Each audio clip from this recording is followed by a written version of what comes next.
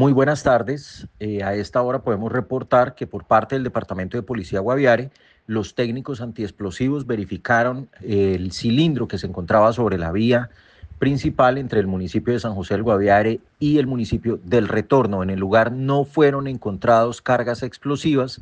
Este cilindro no tenía ningún tipo de elemento peligroso o que pusiera en peligro a los transeúntes de esta zona del departamento. Eh, simplemente era un tema de propaganda del Frente 44 de las FARC, ya fue retirado del lugar y damos un parte de tranquilidad a los ciudadanos que necesitan movilizarse entre ambos municipios, lo pueden hacer con total normalidad. A la hora hacemos presencia de manera coordinada entre la Policía Nacional y las fuerzas militares en esta zona del departamento para que la ciudadanía pueda transitar con tranquilidad.